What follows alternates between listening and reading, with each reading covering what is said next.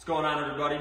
Today we're starting a build series on my new Polaris Matryx Khaos 850 155. Today we're starting cutting the tunnel down.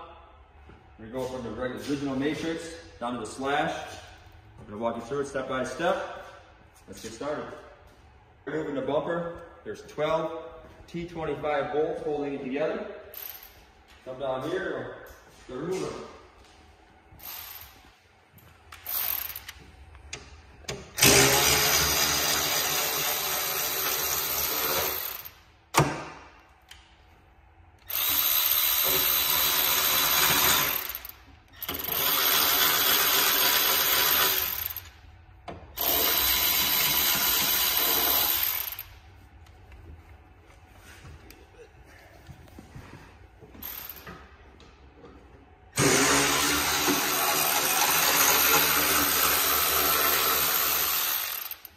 We're all removed.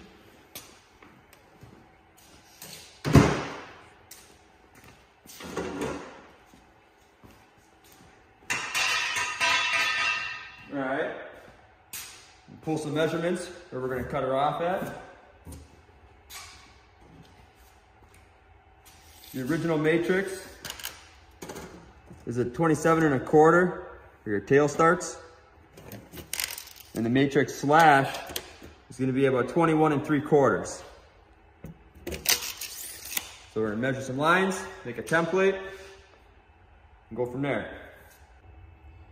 Gonna have to drill these rivets out right here, all of these, a bunch of these ones here, a couple on the side, and the ones holding your uh, tail light wire channel underneath.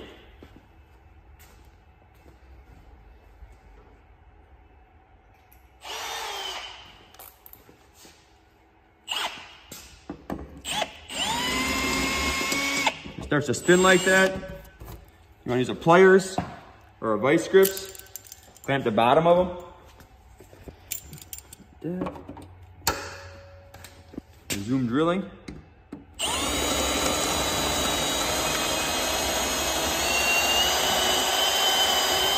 Just like that. Should come right out.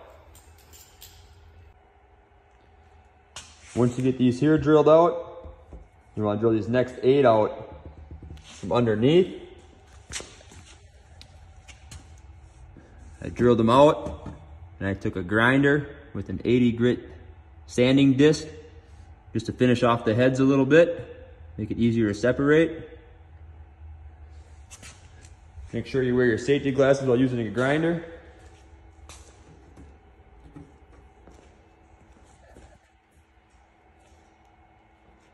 To remove the back half of the tunnel, gonna have to pry on it here, push down here,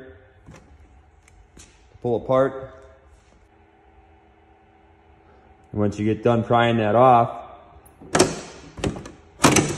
set her off to the side, just like that. And you're gonna start pulling your measurements from this line here back five and a half. Make a template next. I'll go from there. And for a template, I just use blue painter's tape. Laid my first piece of tape along the back, along this flat side edge here. And two little pieces on your angles going down here and around the sides. I did two layers of tape, then took a knife and trimmed it to the shape you need. And I took a silver paint marker, marked straight lines back from your straight points on both sides. Went back your five and a half inches. Marked two lines in a straight line. Then I took an angle finder, found the angle of back here, and transferred it up to here, a black Sharpie. Now you're going to take the tape template, move it back, so this edge is on this line. Once you get your template moved back, you want to take your marker and you want to retrace the line of where you're going to cut. You can either remove the tape or leave it on. I'm going to leave it on in case the grinder slips a little bit. Maybe the tape will save it. and scratching the rest of the tunnel. And you want to be careful when you're cutting through the middle. You got your brake wires, tail light wires coming through. I have mine tucked up a little farther back, so I should be okay. Just to be on the safe side, I'm gonna be careful going through that part of the tunnel. Make sure you wear your safety glasses and start cutting. Once you get the cut all cleaned up, you're gonna wanna cut off your wire protector about five and a half inches back from your new tunnel cut. Now I'm gonna go ahead and remove the tail light. You can do that before you start or now. Doesn't really matter. It's gonna be a T30 bit. Move these two screws right here.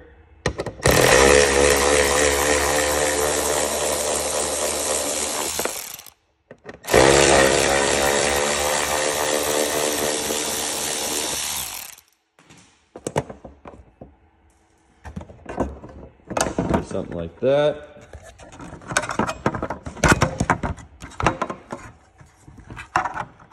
You don't want to unclick it. Just like that.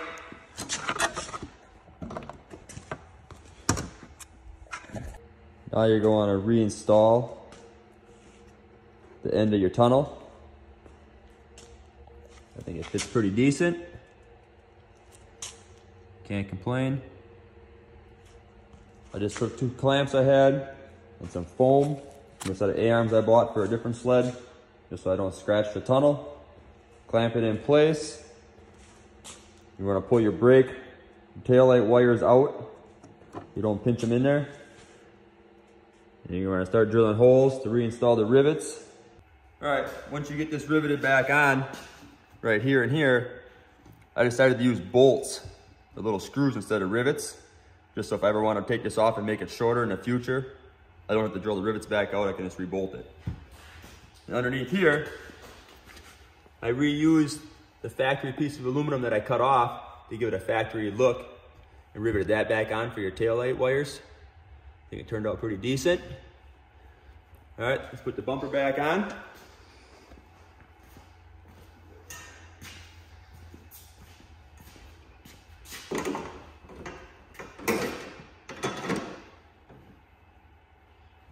Grab some bolts.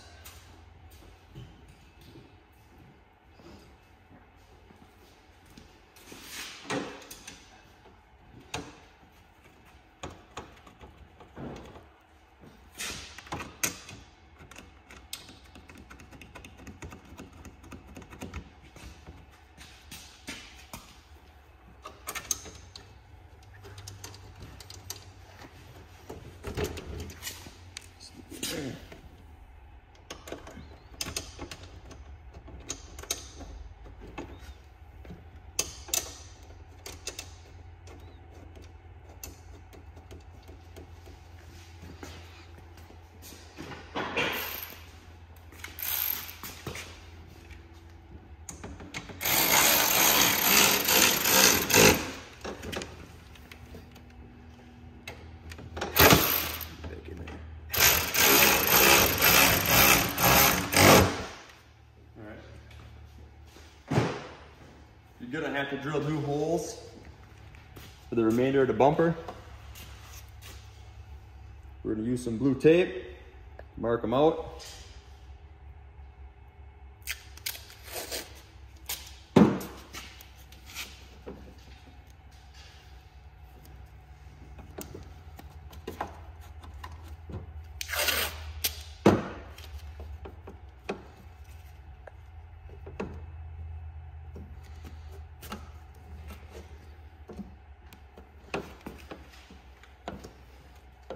Take that and push against it. Grab a marker. Kind of eyeball up the center so you know where it's at.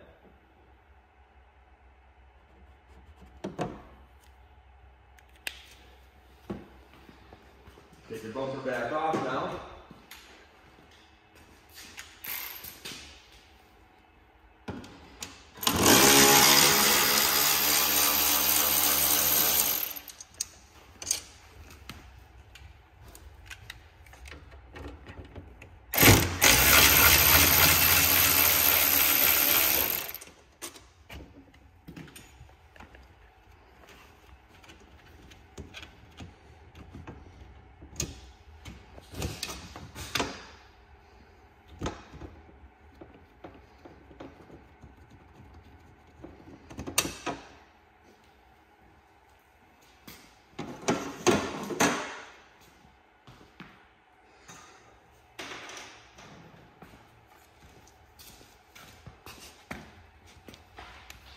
If you can see this here, when you push on your bumper, it's gonna leave indentation on the tape where the pop rivet is on the back side of the bumper. It's gonna find center. You're gonna re-drill.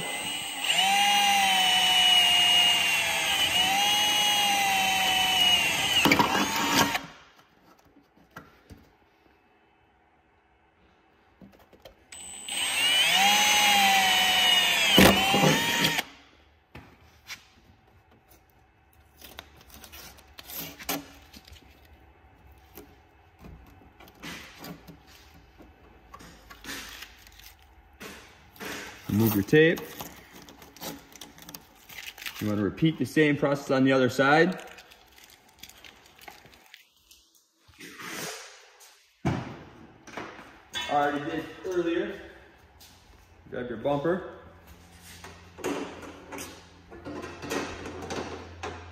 Reinstall it.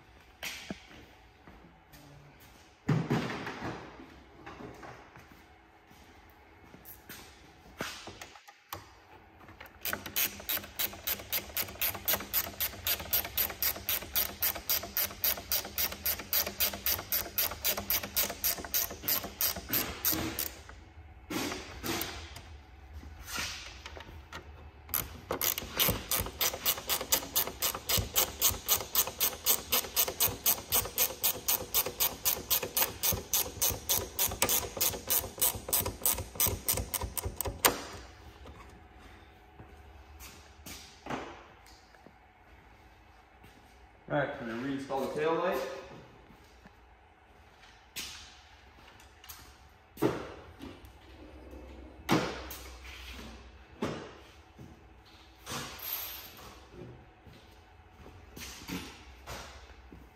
it back in.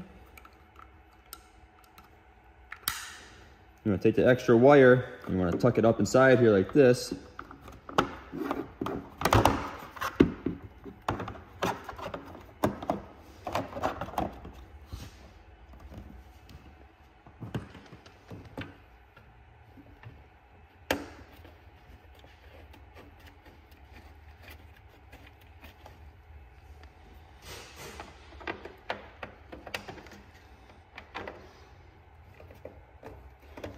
that side so I can see a little better.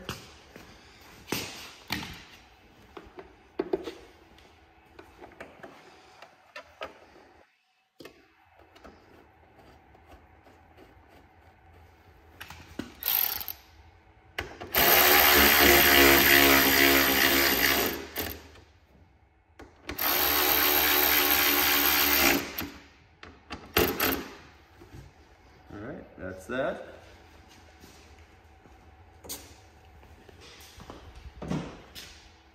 I'm not gonna install the two screws here yet. I'm not sure what I wanna do in the bracket down here. But I think it should be fine for okay, okay for now.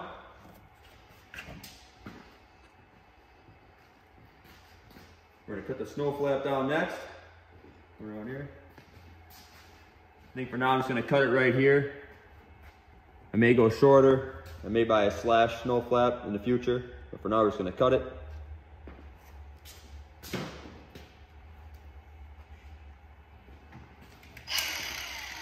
Using the grinder.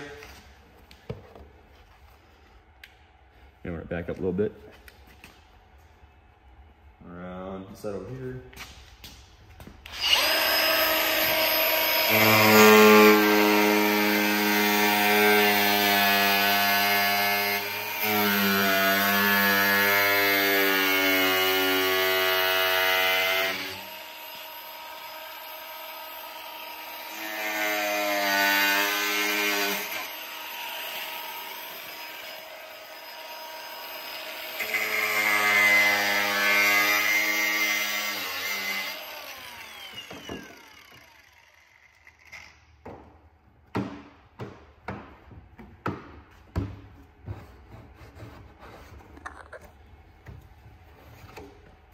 Just like that.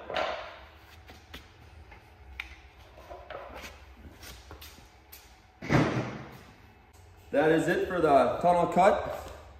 I think it turned out pretty good. So if this helps you out in any way, give a like, subscribe, comment. Stay safe out there. See you guys later.